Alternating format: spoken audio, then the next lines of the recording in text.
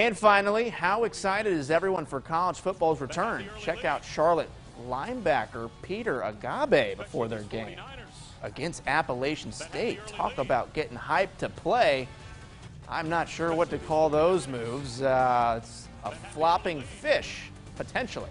We'll have one final look at the forecast if you want to fish tomorrow. Coming up.